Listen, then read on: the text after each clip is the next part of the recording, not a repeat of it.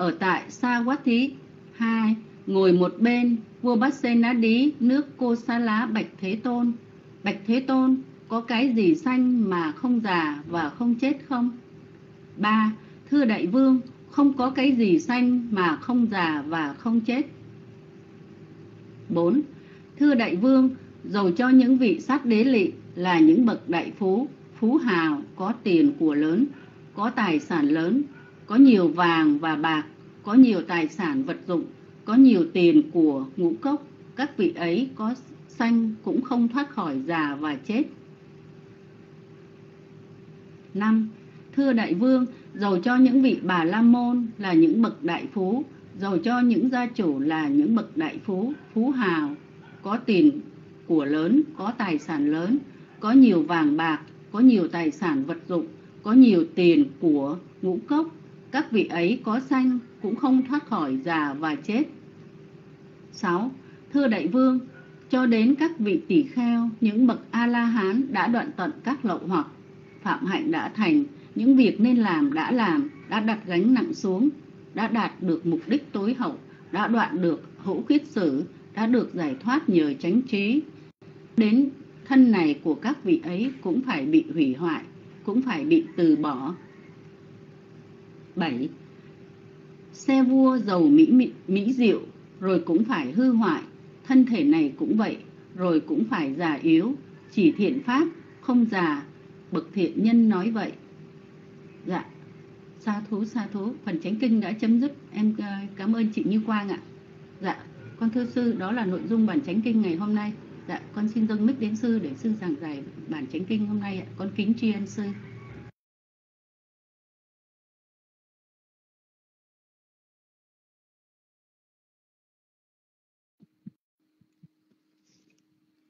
Nam mô bụt tha giá nam mô tham ma giá nam mô sanh ca giá cảm ơn cô như quang đã bót bài và cảm ơn cô kim nhung đã đọc phần chánh kinh. Và trước khi vào thời giảng giải chia sẻ Phật pháp, kính cung thỉnh chư tôn đức cũng như mời tất cả quý vị lắng tâm thanh tịnh, hướng về tâm bảo làm lễ một cách tóm tắt. Nam mô tassa bhagavato arahato samma sambuddhassa. Nam mô tassa bhagavato arahato samma sambuddhassa. Nam mô tassa bhagavato arahato samma sambuddhassa. Nam mô Bụt Tha giá. Nam mô Tham Ma giá. Nam mô Sanh Ca giá. Đệ tử xin nghiêm tịnh thân tổ ý tán dương ân đức tam bảo một cách tóm tắt. Đệ tử xin nghiêm tịnh thân tổ ý tán dương ân đức Phật bảo Phật bảo đấng vô lượng từ bi trí tuệ viên mãn, Ngài đã diệt tận vô minh và phiền não. Ngài đã bay gãy bánh xe sanh tử luân hồi là thầy cả chư thiên và nhân loại. Tế tử xin nghiêm tịnh thấu ý tán dương ân đức Pháp bảo. Pháp bảo là phương lương dược năng trị tâm bệnh cho tất cả chúng sanh. Những ai thực hành đúng theo chánh Pháp sẽ được an lạc trong hiện tại và ngày vị lai. Đệ tử xin nghiêm tịnh thân khẩu ý tán dương ân đức tăng bảo tăng bảo gồm hai bậc, thánh tăng và phạm tăng. Các ngài là mô phạm quần sanh là phước điền của chư thiên và nhân loại. Cho phước báo tán dương ân đức tam bảo, kính cầu mong chư tôn đức phát thể khang an. Chúc tất cả quý tu nữ, quý phật tử nhiều sức khỏe, an vui, tu tập, tạo được nhiều thiện sự trong đời sống. Hướng đến giải thoát trong ngày vị lai. Cầu mong tất cả chúng an vui hạnh phúc. Thì à, hôm nay chúng ta thấy rằng cái à, vua Pasenadi à, đến đảnh lễ Đức Thế Tôn rồi nêu lên cái câu hỏi có cái gì sanh mà không già không chết không? Thì à, Đức Phật nói là tất cả ở trong thế gian này nếu là còn trong cái tam giới này trong cái à, thế gian này thì tất cả các pháp là pháp hữu vi. À, pháp hữu vi thì tất cả phải có sự biến hoại. À, phải đi đến cái chỗ à, chấm dứt. À, thành ra đó là chúng ta thấy rằng đức phật nói là cho đến các cái vị la Á, a la hán à, đã đạt đến cái mức tận cùng rồi. Nhưng mà sao? À, các ngài cũng phải rũ bỏ cái cái cái cái thần ngũ quẩn này. À. thì ở đây đó ừ, thật sự ra đó cái suy tư của cái câu hỏi của vua Masanadi Ba Tư Nặc là cái cái cái trăn trở, suy tư của của Bồ Tát. Chính vì chính vì ngài thấy được cái thế gian này tất cả ngay chính bản thân mình cũng như tất cả những chúng sanh xung quanh đều phải chịu cái sự chi phối sanh già bệnh chết. À, cho nên đó là ngài mới mới quyết chí là muốn tìm cái con đường để mà vượt thoát ra cái cái cái quy luật này. À, chính vì đó mà ngài mới phát nguyện. À, ngài phát nguyện để đi tìm cái cái con đường mà không còn sanh già bệnh chết nữa. À, đó. thì à, quý vị biết rằng đó chúng sanh ở thế gian à, vì vì mê lầm à chúng ta quay cuồng à, trong cái cái cái à, cái hành động nói năng suy nghĩ của mình. À đó rồi sao? Rồi mình tạo những cái cái nhân. À tạo cái nhân. À gieo những cái chủng tử. Tốt cũng có mà xấu cũng có. À, cho nên á chính vì những cái những cái nhân này đó mà nó đưa chúng ta đi tái sanh. À, cho nên là cho nên là trong trong 12 nhân viên thì vô minh viên hành. Hành mới viên thức. À đó. Thì thức ở đây là là cái cái cái nhân để mà đi tái sanh. Thì nếu mà trong thế gian phàm nhân thì thường thường là tạo trữ à, sáu cái nhân. À, hiệp thế là tham sân si vô tham vô sân vô si. Nhưng mà nó còn nằm ở trong cái cái thế gian cái hiệp thế. Cho nên là là chính sáu cái nhân này à, nó nó đưa cái à, chúng sanh đi tái sanh về những cái cái cảnh dương ứng với các cái nhân mà mình đã tạo trữ. À, những chúng sanh nào tạo trữ nhiều công đức phước báo thì tái sanh về những cảnh giới tốt đẹp an vui. Còn nếu mà lầm lạc tạo trữ nhiều những cái nhân bất thiện à, thì sẽ đi đến những cái cảnh giới thấp thỏi khổ đau.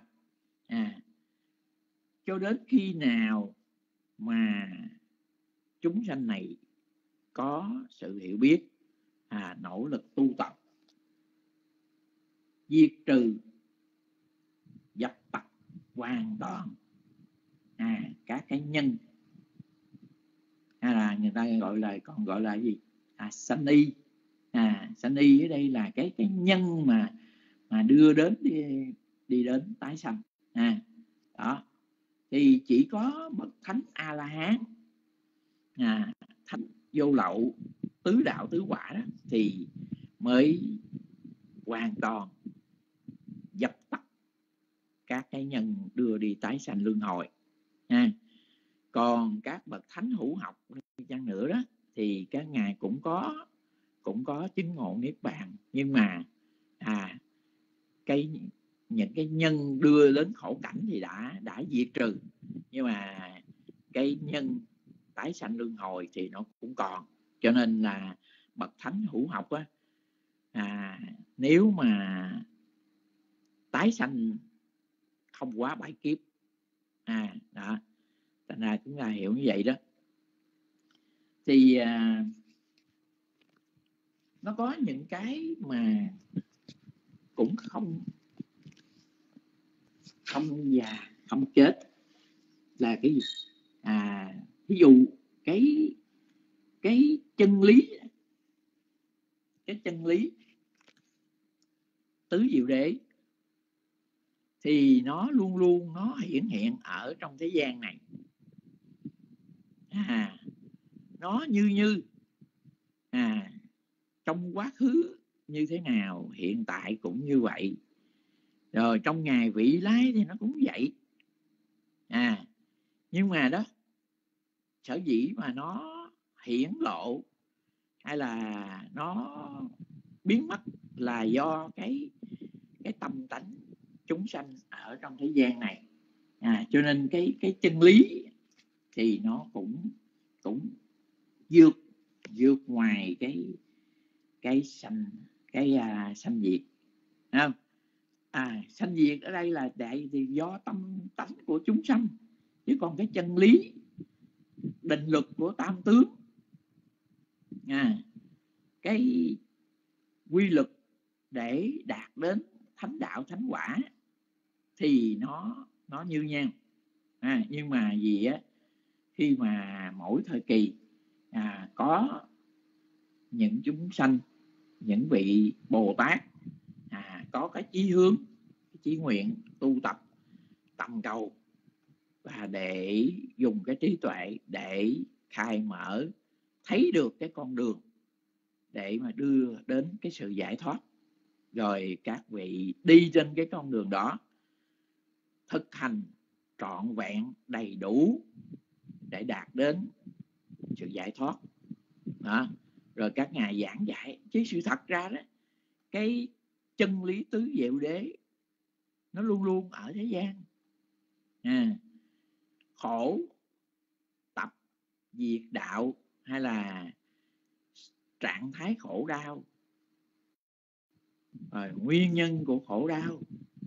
Rồi trạng thái tịch tịnh và cái phương pháp thực hành để đạt đến cái trạng thái tịch tịnh này thì luôn luôn nó là như vậy. Đó.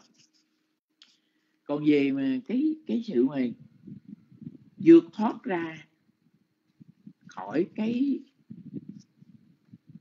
sanh già bệnh chết, thì chúng ta phải nỗ lực thực hành à và ở trong kinh nói chỉ có khi mà cái sự chấm dứt cái đời sống rũ bỏ cái thân ngũ quẩn này của vị thánh vô lậu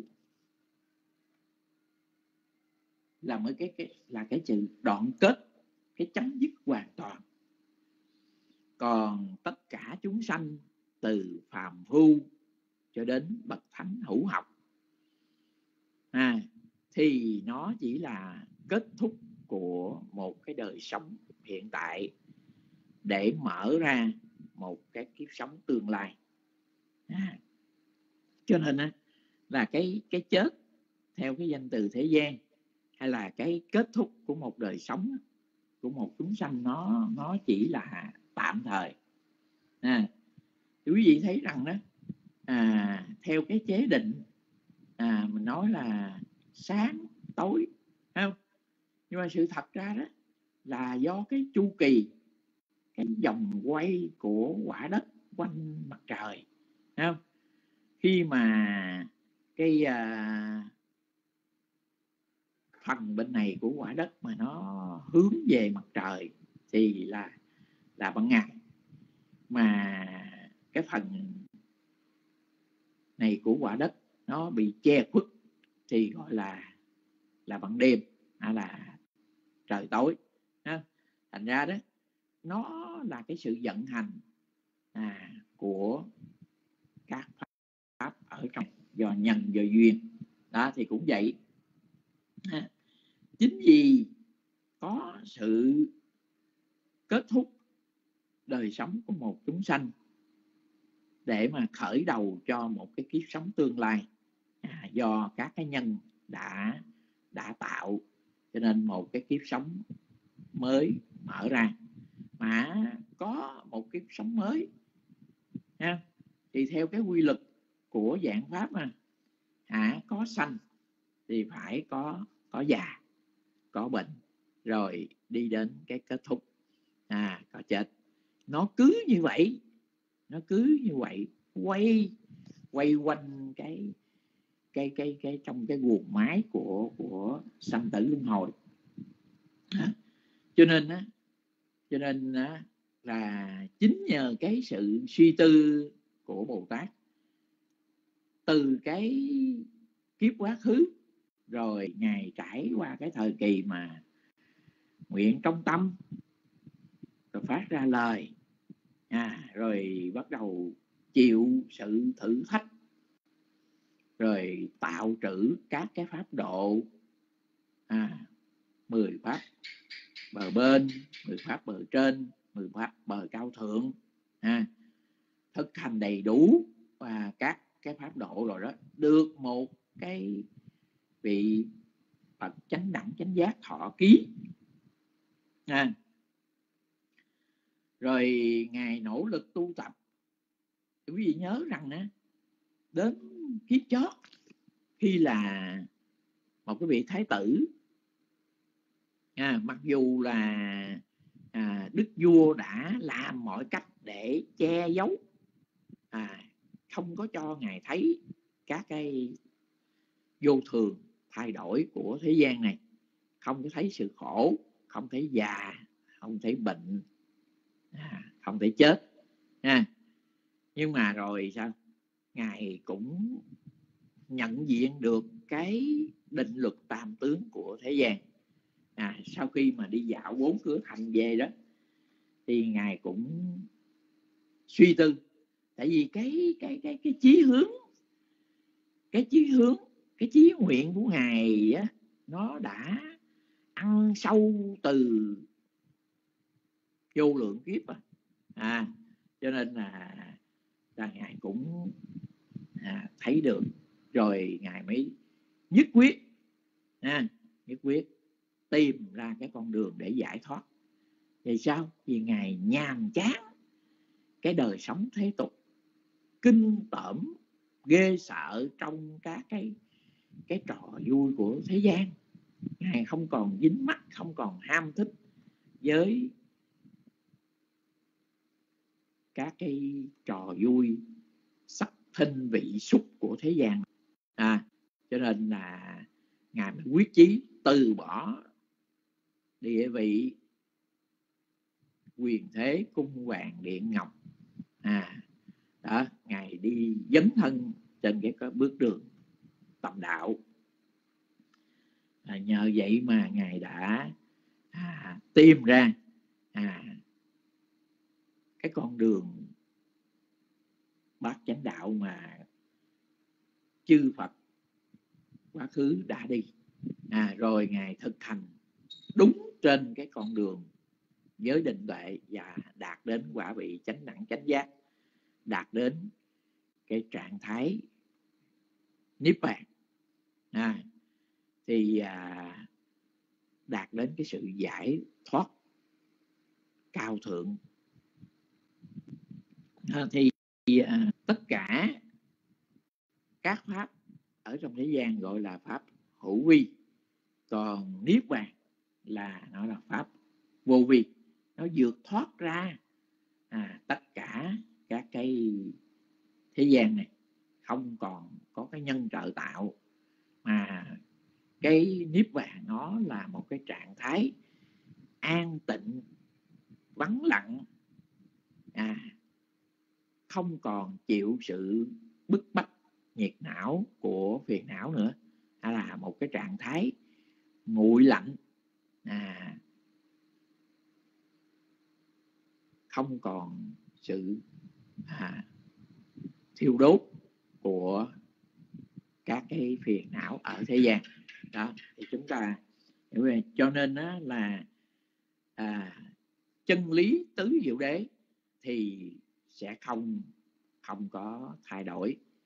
À, niết bàn thì cũng không có thay đổi. Tức là những cái gì nó nó là pháp vô vi vượt qua tất cả những cái cái chế định của thế gian thì thì sẽ sẽ không không có biến hoại không có đổi thay.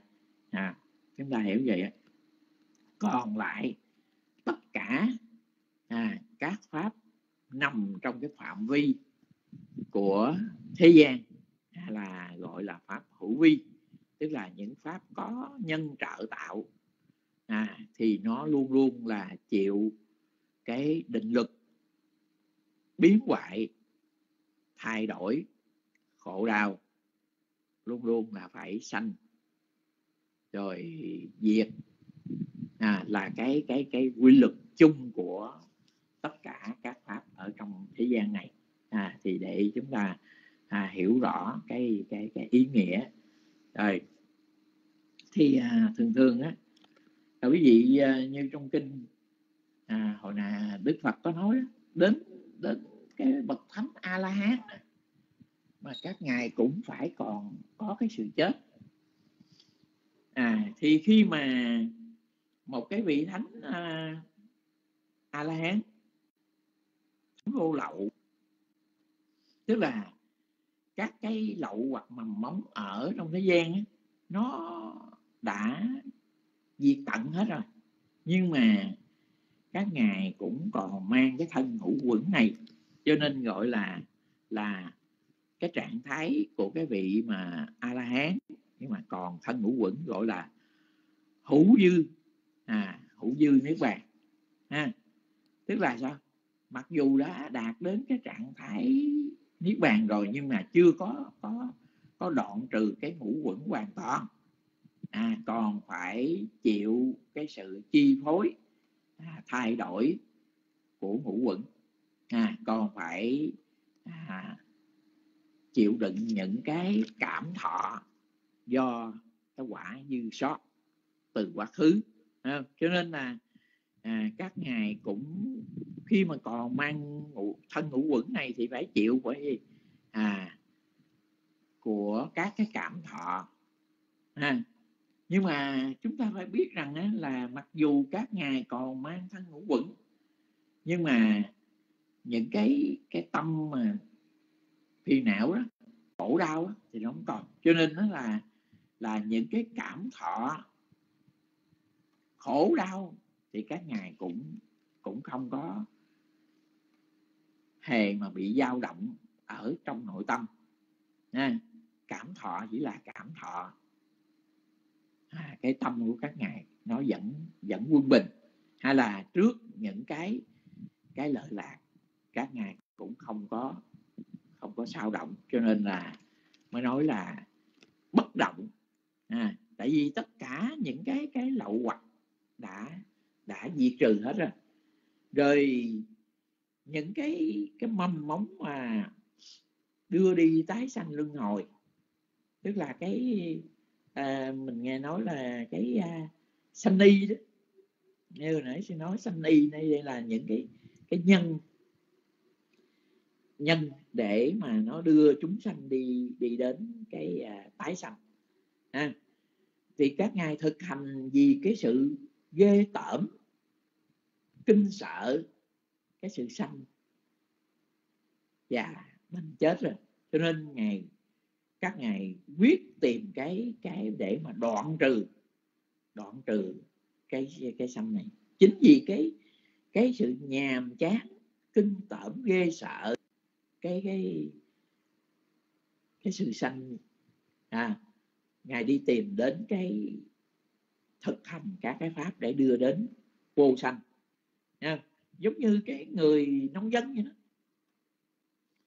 Cứ tới mùa rồi phải cài rồi gieo xạ, rồi chăm bón, rồi thu hoạch. À cái dòng đời nó cứ dậy hoài. À cái người nông dân họ cảm thấy họ nhàn chán giờ. Không còn muốn, không muốn không muốn gieo trồng nữa. Cho nên họ quỷ diệt hết tất cả những cái cái hạt hạt giống đi. À thì khi mà những cái hạt giống mà nó bị tận trừ quỷ diệt hết thì thì cái công việc đồng án không còn keo gieo trồng gì nữa. Mà không có gieo thì đâu có thu hoạch không? À, cho nên á cho nên á là là các cái mầm móng tái sanh luân hồi đã bị tận trừ hủy diệt hết rồi cho nên là sau khi mà cái kiếp cuối cùng thì các ngài chấm dứt à, không còn tái sanh luân hồi lại nữa. Đó thì lúc đó là cây cây vượt thoát ra khỏi cái quy lực của thế gian à, thoát khỏi ra cái à, dòng quay sanh tử luân hồi. À, cho nên đó là à, chúng ta phải hiểu để để gì? Để mình tân bước. À nếu mà bây giờ chúng ta còn dính mắt còn thích thú còn tham muốn ở trong thế gian này à chúng ta còn tạo trữ những cái thiện hay là bất thiện. À nhưng mà những cái pháp hiệp thế thì chúng ta sẽ còn còn chịu à, dòng quay khổ đau sanh tử luân hồi. Còn nếu mà chúng ta hiểu biết được với trí tuệ à chúng ta sẽ lần hồi. Bước trên cái con đường hướng đến cái sự giải thoát. À chúng ta à, diệt trừ những cái cái cái mong muốn. À, chính vì cái quý cái gì nghe là ý dẫn đầu các pháp ý làm chủ ý tạo. À, quý vị thấy rằng bồ tát á, vì ngài ngài đã nhàm chán kinh sợ ngài có cái chí hướng mà muốn giải thoát. À cái tái ý là để vượt thoát ra thế gian này. Cho nên là là ngài đã nỗ lực quý trí thực hành. Thì cũng vậy ha khi mà chúng sanh phàm nhân thì khi mà cái quả mà khổ đau á nó hiện khởi á, thì người ta khóc lóc à, than gian sầu bi khổ u não. Nhưng mà nếu mà cái quả lành á mà nó nó sanh khởi thì người ta lại đắm nhiễm dính mắt chấp thủ không? Rồi sao? Rồi có nhiều lúc đó, họ tự an ủi họ nói à thế gian này chứ khổ cũng có khổ nhưng mà có có lúc nó cũng vui. À đó. Chính vì cái chính vì cái khi mà cái cái các cái trạng thái an lạc đó, nó khởi lên rồi nó che án cái khổ đau đó, thì chúng ta lại lại dính mắt với nó. À cho nên á, là chúng ta lại tiếp tục tầm cầu ha, gieo trồng tiếp những cái cái nhân để để tái sanh luân hồi không? Mà chính vì á chính vì cái tác ý này thì nó đưa đến cái gì? Cái cái cái sanh sanh thú. À sanh thú tức là sao? Tức là gì á à, chúng ta tạo trữ những cái cái công đức để hướng đến cái cảnh giới đó đó. Cho nên là những chúng sanh khi mà sắp sửa kết thúc cái cái cái cái đời sống thế gian này đó thì những cái cái cảnh mà cái cảnh của cảnh giới của kiếp sống tương lai nó hiện ra. À, thì gọi là sanh thú. Tức là nếu mà những cái cái uh, những cái người mà tạo trữ các cái ác bất thiện nghiệp ha? Những người mà làm à, đi à, đánh cá nè rồi à, làm nghề đồ tể à, đó. Thì sao? Những cái cái sanh thú cảnh giới khổ đau nó hiện ra à, như là thấy lửa ha? Rồi thấy à, những cái cảnh mà ghê sợ hàng ngày mà mình làm đó không? Đó thì nó hiện ra. Đó. Rồi rồi sao? Nó mở ra cái cái cái cái cái cảnh giới của kiếp sống tương lai. À, còn nếu mà những người mà chuyên tâm tu tập tạo được nhiều cái thiện sự ha nỗ lực tu tập chứng đắc các cái cái thiền hiệp thế à thiền sắc giới thiền vô sắc giới. À, các vị này có sự nỗ lực tu tập à, chứng đắc các tầng thiền đó và gìn giữ các tầng thiền cho đến khi à, kết thúc cái tuổi thọ. Thì cũng vậy à, các ngày những cái cái cái cái à, sanh thú đó nó sẽ khởi lên. À, cho nên đó là những cái vị này sẽ thấy những cái cái cảnh giới chư thiên à, những cái cảnh an lạc những cái cảnh tốt đẹp mà mình sẽ tái sanh đến trong tương lai ha. cho nên là sau khi mà cái cận tử nghiệp nó sanh khởi rồi đó đến cái cái sát na tử à, là nó kết thúc cái đời sống hiện tại và bắt đầu cái thức thức tái sanh à, thức tái sanh hay là thức nối liền à, còn gọi là thức tục sanh đó. nó sẽ chuyển từ cái kiếp sống quá khứ mở ra một cái kiếp sống tương lai. À, thì đó tùy theo cái duyên nghiệp. Cho nên hả mà có còn cái cái tác ý tạo trữ thì sẽ đưa đến cái sanh thú. À mà cái sanh thú thì sẽ đưa đến cái sanh y. À sanh y đây là cái mãnh lực để nó đưa chúng ta đi đến cái cái cảnh giới à mà chúng ta đã tạo trữ à, những cái nhân nào mình gieo. Thì bây giờ á nó sẽ đưa mình đến à, cái à, cái cảnh giới đó phù hợp. Mà có sanh thì sao? Thì phải chịu cái định lực chi phối của vô thường. À có sanh thì phải tiến đến cái cái già lão. À, à mà có sanh thì phải già mà già thì sao? Phải bệnh. Thấy không? tùy theo duyên nghiệp của mỗi chúng sanh.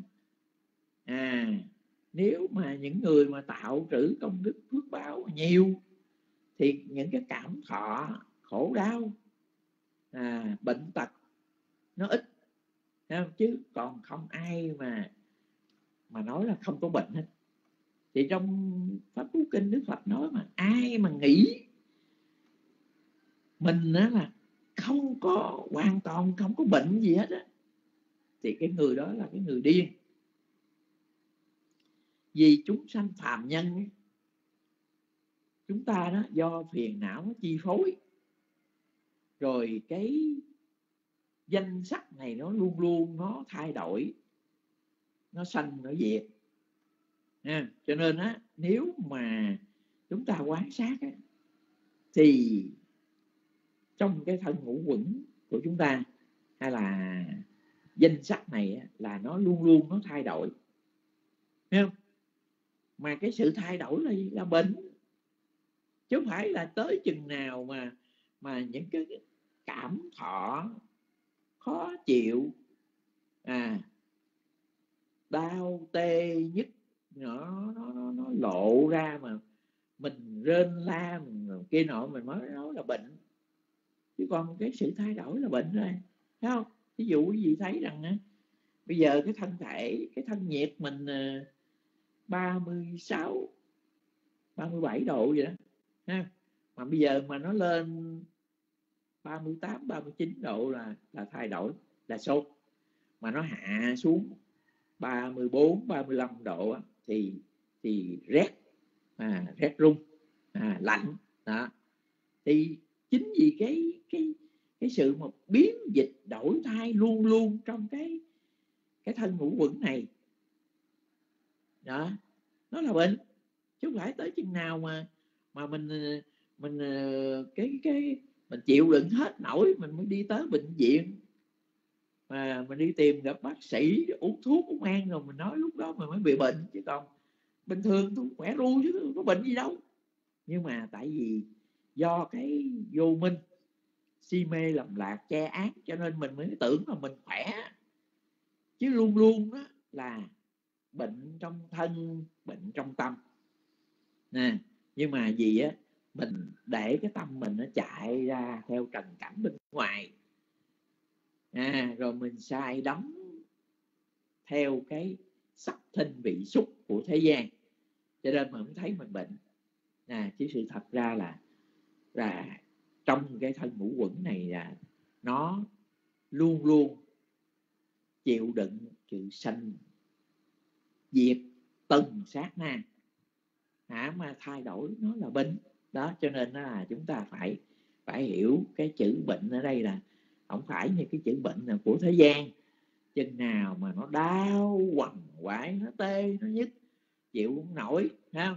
À cái cái cái, cái bức bách là của cái cái cái cái, cái tinh thần là phải rên sầu bi u não rồi đó thì thì mới mới mới mới là bệnh của cái tinh thần không phải. À chúng ta khi mà chạy theo trần cảnh suy tính à, suy tính tương lai dính mắt rồi á, là là rực rãi không chấp nhận đối tượng đã là bệnh bệnh tinh thần. Còn cái danh sách này á, là nó sanh sanh luôn là sanh rồi diệt sanh diệt sanh diệt sanh diệt biến hoại không ngừng từng trong từng sát na. À, thì cái đó là là cái bệnh. À, chúng ta phải ý thức như vậy để mà để mình thấy mình ngao ngát à, kinh tởm để chúng ta tìm cái con đường à, thoát khỏi cây sanh tử. À, chỉ có đến khi nào mà chúng ta diệt trừ được cái sanh y. Ha? Đó là cái cái tâm mà hướng đến cái cái sự tái sanh. Nha những cái mầm móng dẫn dắt tái sanh. À, chúng ta dập tắt diệt trừ hoàn toàn. Tức là sáu sáu cái cái cái cái cái cái, cái pháp mà, mà sáu cái nhân mà đưa đi tái sanh đó ở trong thế gian đó chúng ta diệt trừ không còn dư sót đó thì đạt đến thánh đạo thánh quả. Và đến cái giây phút mà rũ bỏ cái thân ngũ quẩn này à, để mà đạt đến cái trạng thái gọi là vô dư niết bàn. Thì lúc đó, đó thì mới kết thúc à, chấm dứt à, vượt thoát ra cái thế gian và không còn không còn sanh. Ha không còn sanh. Không còn sanh thì không còn già không còn bệnh không còn chết nữa. À, đó mới là à, đạt đến cái cao tột của vô vi niết bàn à, cao thượng. Nè còn nếu mà chúng ta còn dễ vui à, còn nắm ná còn muốn hưởng thụ à, trong cái thế gian này. À, rồi chúng ta tạo trữ những cái à, công đức phước báo à, còn còn lưu trữ những cái cái nhân à, tái sanh những cái thiện pháp nhưng mà còn nằm trong cái phạm vi hiệp thế thì chúng ta sẽ còn lưng lưu à, trong thế gian này và cũng sẽ còn chịu sự chi phối bởi quy luật à, sanh già bệnh chết.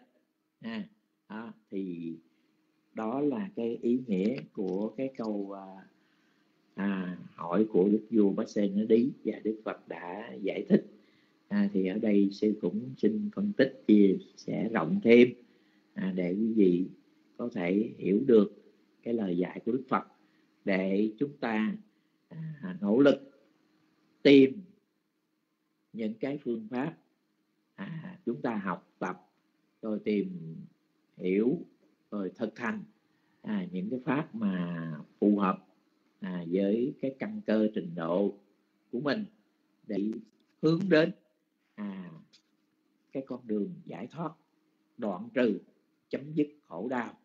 À, để nỗ lực đạt đến cái các cái pháp vô vi thì như vậy mình sẽ vượt thoát ra. À, cái thế gian này không còn chịu sanh già bệnh chết. Thì à, cũng trình chia sẻ với quý vị đôi điều. Và với phước báo này kính cầu mong chư tôn đức trưởng lão chư hòa thượng chư thượng tọa chị đại đức tăng. Cầu mong các ngài có thể khang an chúc tất cả quý tu nữ quý phật tử nhiều sức khỏe an vui tu tập tạo được nhiều thiện sự trong đời sống. À, hướng đến con đường giải thoát trong ngày vị lai. À, giới phước báo này kính. Cầu mong chư thiên quan hỷ với phước báo và cầu mong tất cả chúng sanh à, sớm thoát khỏi những khổ đau thiên tai chiến tranh dịch quả à, cầu mong tất cả chúng sanh trong ba giới bốn loài an vui hạnh phúc. Dạ bây giờ thì xin uh, thỉnh chư tôn đức cũng như mời tất cả quý vị à, cùng chia sẻ thảo luận thêm về đề tài bài học ngày hôm nay. Xin mời đạo tràng. Nam mô bổn thầy giá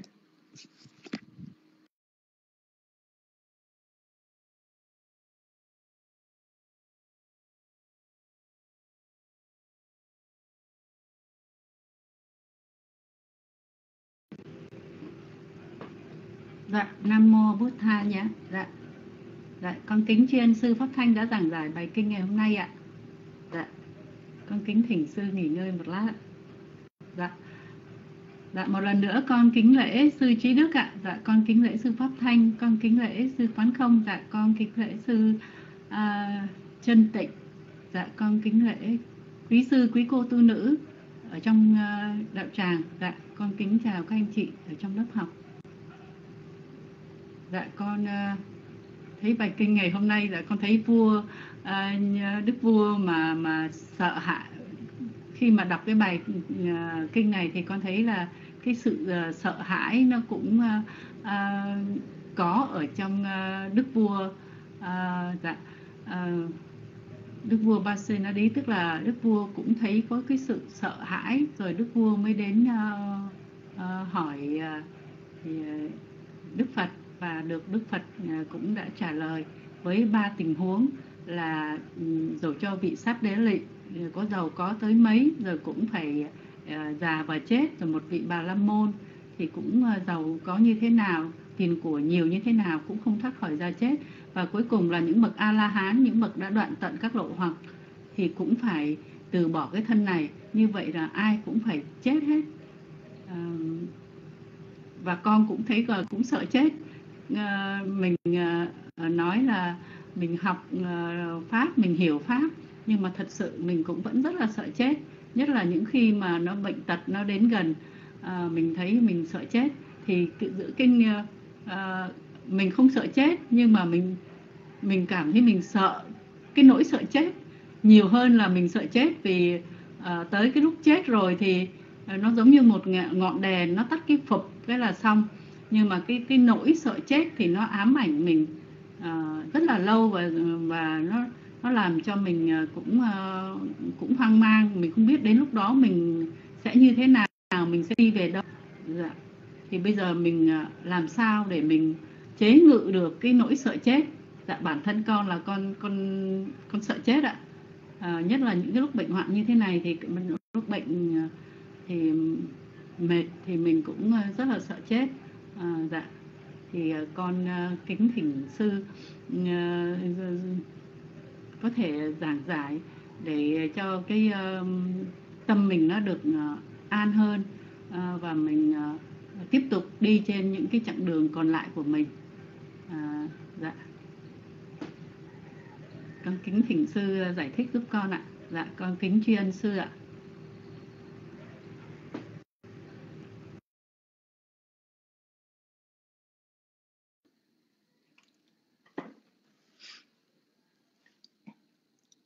Nam mô bụt thầy giá. Nam mô thầm thầy giá. Nam mô sằng thầy giá. Thì uh, sự thật ra đó chúng sanh phàm nhân ở trong thế gian này ai cũng cũng sợ chết hết rồi Thấy không? Tại sao mà mình sợ chết? Tại vì mình còn muốn sống. Phải không? Đó cho nên á, là chính vì cái cái cái cái cái mà mình muốn sống mới mới sợ chết.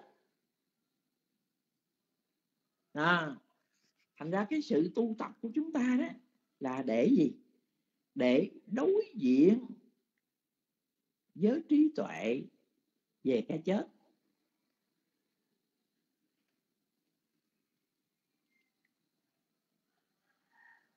Nó mô bút thầy giá. Dạ không biết là quý vị còn nghe âm thanh được không à dạ dạ, dạ. cảm ơn cô kim nhung. Dạ dạ dạ. Tại vì khi mà khi mà chúng ta còn cái tha thiết dính mắt vào thân ngũ quẩn này còn dính mắt vào quyến thuộc còn dính mắt vào tài sản ha thì chúng ta còn sợ chết. À, tại vì mình còn muốn còn muốn à, thí dụ cái người cái người mà có tài sản mà quyền quy đứng đầu một cái quốc độ không ông à, ông vua tần thủy hoàng á ông sợ chết dữ lắm. Cho nên là sai các cái quan ngự y, các cái vị danh y nổi tiếng thời bây giờ là đi tìm thuốc trường sanh bất tử. Để chi?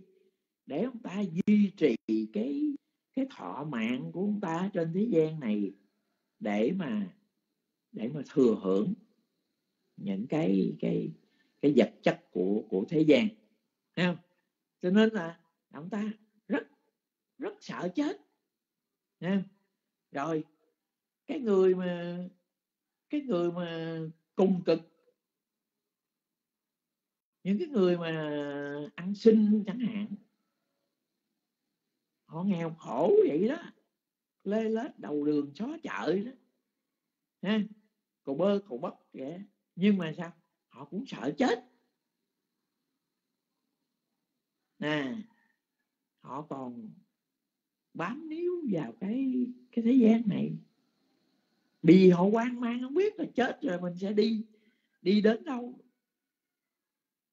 Đi đến cảnh giới nào. Không biết là nó có thay đổi rồi nó nó trở nên tốt đẹp hơn hay là nó nó còn còn khổ đau còn xấu xa hơn cái cái đời sống hiện tại này. À, cho nên đó là từ cái người mà cao sang quyền quý cho đến cái người mà bần cùng, đều đều sợ chết. Tại vì sao? Tại vì người ta không hiểu không hiểu cái quy luật của tam tướng. Nè, đó, cho nên á, là chúng ta hàng ngày chúng ta học hỏi, rồi hiểu và thực hành để gì? Để tạo trữ những cái kinh nghiệm à những cái trí tuệ để để đối diện với cái giây phút cận tử nghiệp nó đến. Thấy không? Đó. Thì á hàng ngày mình thực hành mình thực hành à, thiên tuệ đó để có những cái kinh nghiệm ha à mình quan sát các cái trạng thái thay đổi của danh và sắc. À đó danh sắc hồi nãy nó bình thường. Nhưng mà là bây giờ ngồi một hồi lâu rồi nó đau nó tê nó nhức rồi kia nọ đủ thứ. Để mình thấy ha. Chính nhờ những cái kinh nghiệm à, những cái kinh nghiệm những cái cái cái cái trí mà chúng ta nhận thức này dần dần dần dần dần nó nó lớn mạnh lên à để lúc đó đó cái cái cái cái trí tuệ của mình nó đủ mạnh để đối diện với cái mức tận cùng của cái đời sống hiện tại. Ha. Mình ra đi không có không có dính mắt không có hốt hoảng không có sợ hãi. Đó, mình biết cái cái chết là tất nhiên là nó sẽ đến ai cũng phải vậy đó, đó. đức phật nói đó dù dù cho bậc chánh đẳng chánh giác bậc thánh vô lậu rồi cũng phải đi đến cái mức tận cùng của cái chết thì mình là phàm nhân làm sao mà mình khỏi chết không có cái thuốc nào gọi là trường sanh bất tử hết không? Quý vị thấy rằng á, những cái à, cái vị mà đạo sĩ à, bà la môn tu tập có nhiều người họ sống tới hai trăm tuổi. Nhưng mà rồi thì sao? Cũng phải chết. Nha đó cho nên khi mà chúng ta à, muốn diệt trừ được cái cái sợ hãi đối với cái chết thì sao? Mình phải đối diện với thực tế. Mình chấp nhận nó nha à, khi mà mình có trí tuệ trong đời sống bây giờ á, thân mình á, những cái cảm thọ khổ đau nó tạm thời nó lắng dịu. À cái sự an lạc nó nổi trội. Mình cũng không dính mắt mình biết là cái này nó là vô thường. Bây giờ nó an an chút gì á. Chứ rồi một hồi là nó nó thay đổi. À nó đau, nó tê, nó nhức, nó thế này thế khác Thấy không? Đó, cho nên á, là khi mà cái cái sự an tịnh nó đến mình biết, mình quan sát với trí tuệ, để gì? Để mình sẵn sàng chấp nhận đối với những cái cái cảm thọ khổ. Đó cái quy luật nó là vậy. Cho nên á là khi mà trong đời sống mình thực hành với trí tuệ với đầy đủ những cái kinh nghiệm à, quán sát về cái sự sanh diệt của danh đắc ha À, thì khi mà mình đối diện với cái cái cái à, cái trận tử nghiệp nó đến mình đối diện với trí tuệ. Đó. Còn nếu mà chúng ta à, học nhưng mà mình không có sự thực hành, thì cái à, lúc đó mình sẽ sẽ sợ hãi. Tại sao? Tại vì á, lúc đó là theo như trong bài kinh mà vô thường khổ não đó tức là cái cái trạng thái danh sắc lúc đó đó là nó nó rất là thay đổi rất là khủng khiếp ha. À, thịt giật à, gân thung rồi rồi rồi khi mà cái cái sắc mà nó suy sụp nó biến hoại đổi thay thì nó kéo theo cái suy sụp về cái tinh thần. À, tại vì mà tại vì mình không có chuẩn bị thành ra đó lúc đó đó một cái trạng thái nó thay đổi khủng khiếp. À, để để nó nó nó, nó chuyển đổi cái cái cái đời sống mà thấy không? Đó cho nên đó là nếu mà mình biết thì giống như là một cái trận mà một cái trận bão nó quét qua hay là một cái trận động đất khủng khiếp nó xảy đang xảy ra vậy ha? Lúc đó làm cho cái tâm mình nó chấn động hải hùng. Thì mình mới sợ. À tại vì còn phiền não còn dính mắt còn mong cầu còn dính mắt với thế gian. À, cho nên là cái nỗi sợ hãi nó sanh ra. Còn mình đã chuẩn bị à mình biết cái này trước sau nó không tới à, à thì mình có sự nỗ lực tu tập để chúng ta đối diện với thực tại đối diện với cái cận tử nghiệp thì chúng ta sẽ không còn có sự sợ hãi. À, thì cũng vậy đó. Bởi xin nhắc lại á là mình bước tới cái cái cái già tức là thân ngũ quẩn này nó bắt đầu nó suy sụp rồi, ha. Gối mỏi, lưng trùng, bệnh tật rồi nó xảy ra diễn biến thương ngày rồi, ha. Bước qua mà cái cái cái tuổi mà mà 70 80 đó là sống từng ngày, ha. Cho nên mình mình chuẩn bị, mình chuẩn bị chuẩn bị trước. Đó thì à, những người mà gì mà không có chuẩn bị trước đó giả dụ như bây giờ à, mình cần à, mình đi xa nhưng mà mình lay quay mình không có chuẩn bị hành lý gì nữa. À mình đặt vé rồi mình đặt vé rồi. Nhưng mà mình không có chuẩn bị các cái tư trang để mình đem theo. Thì khi mà chiếc xe nó đến bóp còi in hỏi nó kêu mình đi á thì lúc đó mình mới giật mình à còn quên cái này còn quên cái kia à, còn thiếu cái này thiếu cái khác. Thì lúc đó mình mới bối rối hoang mang. Ha. Còn bây giờ hàng ngày á mình biết mình chuẩn bị đi xa mình đã đặt vé rồi. À rồi chiếc xe đến giờ đó nó sẽ sẽ đến đó. À tư trang mình để đâu đó nó đầy đủ rồi. À, thuốc men rồi quần áo, vật dụng, những cái gì cần thiết mình đã sắp sẵn hết rồi. Thì bắt đầu khi mà tới giờ mà chiếc xe nó nó lại nó bóp còi, nó kêu mình thì mình bình tĩnh, mình chỉ cần sắp cái tư trang chọn sẵn rồi mình lên xe. Đó, thì lúc đó đó là hai, ai cũng phải chết. Ai cũng phải đi đến cái mức tận cùng. Nhưng mỗi người chết, nó có cái cách khác nhau.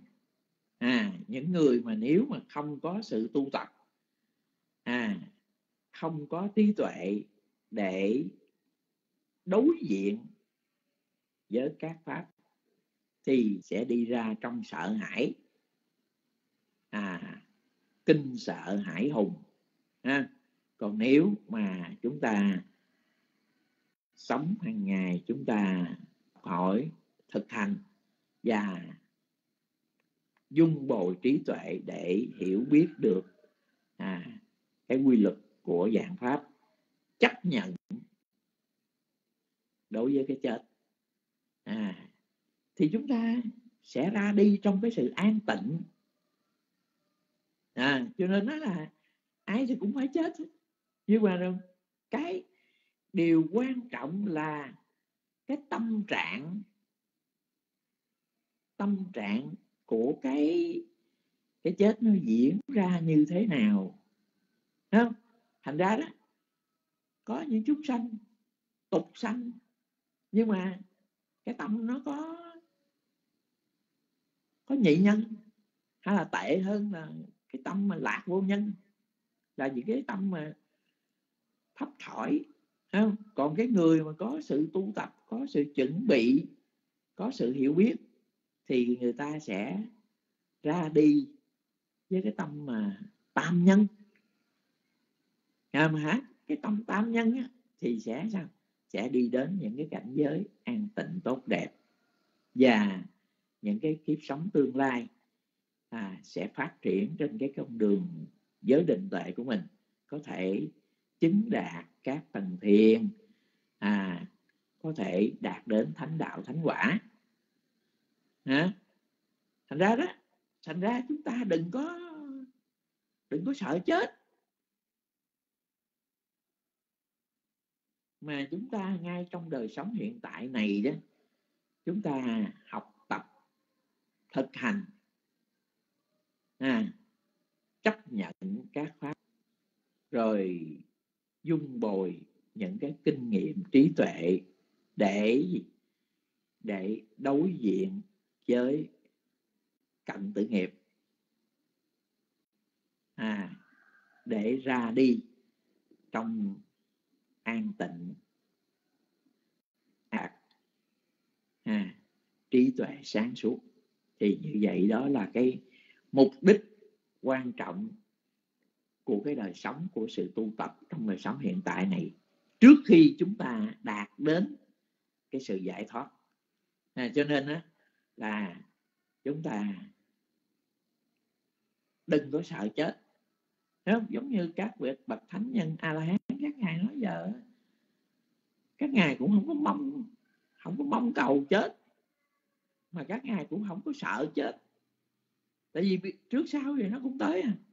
Cho nên mình nói vui vui là chắc chắn mình phải giả từ cái gác trọ này rồi chắc chắn là mình phải phải bỏ lại cái thân ngũ quẩn này rồi. Ha mà không biết mình bỏ lúc nào mà không biết là giờ nào phút nào. Không biết cái cách ra đi nó như thế nào. Ha tại vì á vé mình đã đặt rồi. Khi mà mình đi tới cái thế gian này đó ha mình mua cái đó, mình mua vé khứ hồi chứ không phải mua vé một chiều như các ngày các ngày a la hán đâu ha cho nên là cái vé thứ hồi thì mình đặt vé rồi thì đến ngày nào đó nó sẽ tới à, à, à cho nên là bây giờ mình biết à, cũng cũng cũng sắp sửa tới rồi cho nên mình chuẩn bị hành trang. À rồi mình chấp nhận là bắt đầu mà xe mà nó lại nó đón mình đó lên xe lên xe lên xe. À thì mình sẵn sàng vui vẻ quan hỷ. Bước đi hả biết đâu chừng. Lúc đó mình à mình có được một cái thân ngũ quẩn mới ha? Cái phước báo nó hỗ trợ à, đầy đủ tam nhân. Thì mình có được cái cái cái cái thân ngũ quẩn mới rồi nó còn tốt đẹp hơn cái cái cái cái cái, cái hiện tại này. Thì sao? Chứ mình đừng lo sợ là là là là là là, là sợ ra cái kiếp sống tương lai nó còn tệ hơn cái này. Ai thì cũng phải chết. Nhưng mà nhớ mình chọn cái cách chết trong phiền não sợ hãi khổ đau hay là cái chết với trí tuệ à, ai cũng phải tái sanh. À, mình không thể chọn được cái giây phút để đi tái sanh. Nhưng nếu với trí tuệ hiểu biết mình có thể mình chọn lựa được cái cái cái cái cái sanh y của mình. Mình chọn lựa được cái cái cảnh giới tái sanh của mình. Thì đức phật đã nói rồi những những chút sanh nào mà có trí tuệ có duyên lành. Học hỏi tìm hiểu được phật pháp. Ha, mặc dù này nếu mà mình cố gắng mình nỗ lực mình tu tập á mặc dù mình chưa đạt đến thánh đạo thánh quả mà ít ra ít ra chúng ta cũng đi đến những cái cảnh giới tốt đẹp an vui. Đấy không? Thì như vậy người ta mới có cái niềm tin để người ta tu tập. Thấy đó. Chứ còn mà cứ cứ cứ mình cứ cứ hoài nghi phân dân thì chúng ta sẽ ra đi đối diện với cái cận tử nghiệp với cái chết trong sự sợ hãi. À, mà khi mà đi ra ra đi với cái tâm sợ hãi bấn loạn hốt hoảng là phiền não.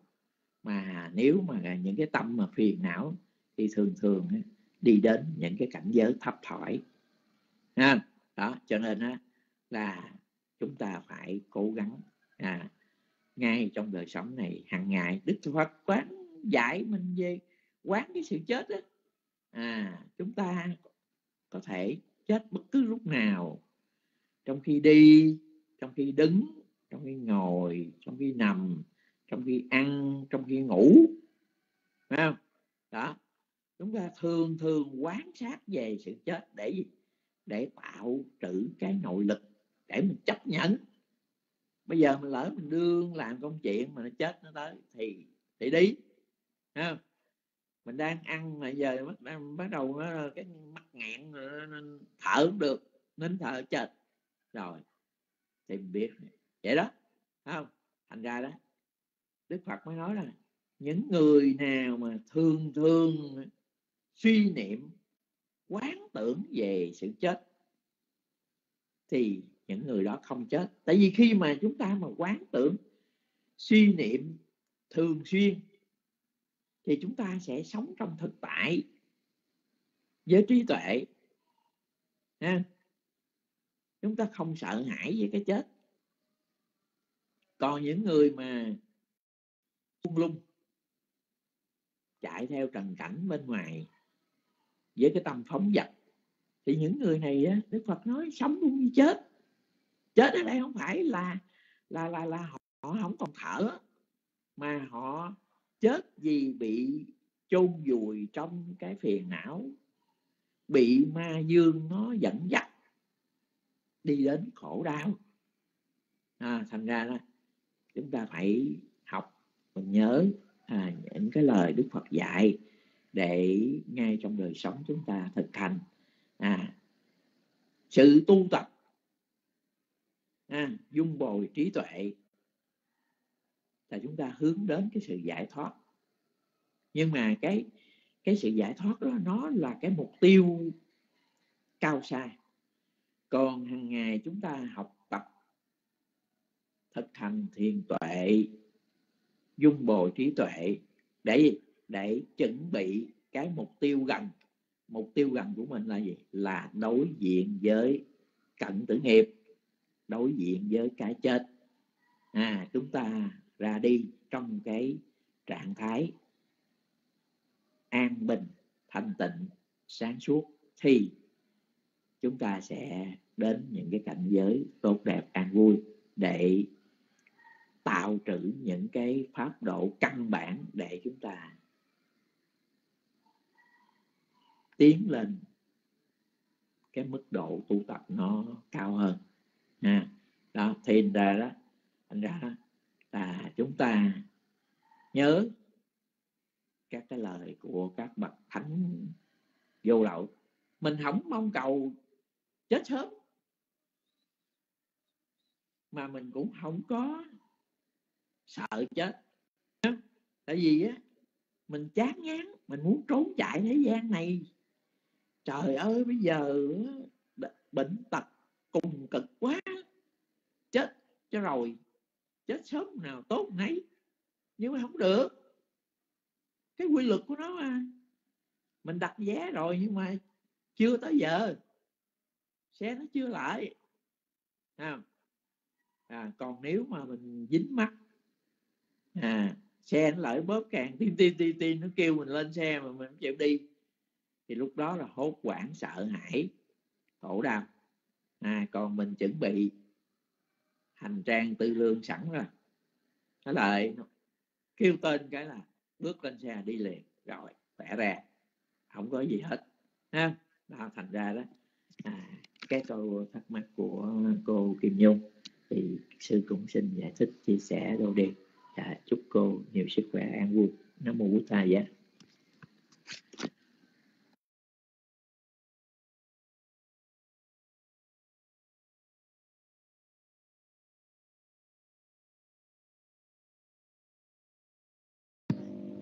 Dạ, con kính lên lễ ba ngôi tam bảo, con kính đảnh lễ sư trí đức, con kính lên lễ sư pháp thanh, con kính lên lễ sư tuệ đức, à, kính đảnh lễ thầy thích chân thịnh, kính à, lễ các quý cô tu nữ, cũng chào toàn thể đạo tràng.